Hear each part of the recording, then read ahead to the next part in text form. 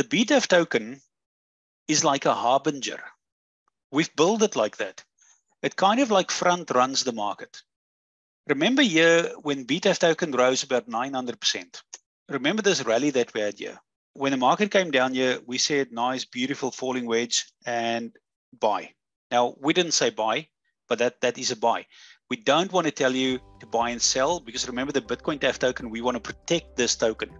It's a it's not a security token, it's a utility DeFi token.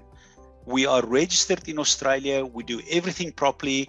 We've got Dr. Adrian McCullagh, the world renowned cryptocurrency lawyer and expert legal mind. He does all our legal stuff for us. This project, we're going to protect it for the next 10, 20, 30 years. What has happened here is this was the first coin. And you can remember when this coin started jumping 900%, we were the only coin that jumped at 900 to 1000%.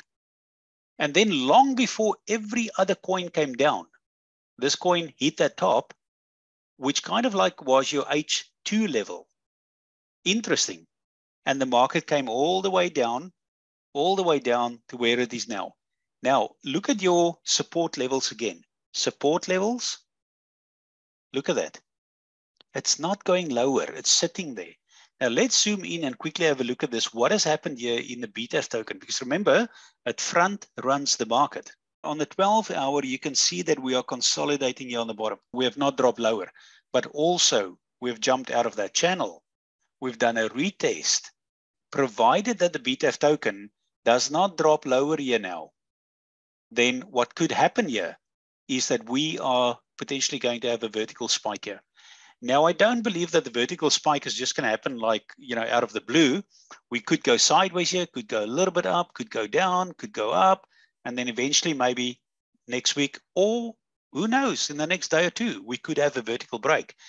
But the point that I want to make here is look at this beautiful consolidation and breakout there of this yellow channel.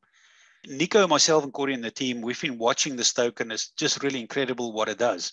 It front runs the market. So where would Bitcoin sit? Bitcoin would probably sit somewhere around here in terms of you know movement. Although Bitcoin trades a little bit different, you can't really compare.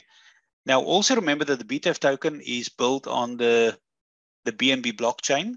So when the BNB blockchain moves, then the BTAF token moves as well. But here you can see that uh, the BTAF token here, for example, is outperforming BNB. If you compare that little rise in price here, you'll see that BNB has done 38, where the token, the BTAF token will do about 60%. Now, when the market starts going to the upside, the BTAF token will outperform BNB by 100%. Okay, so keep, keep that in mind.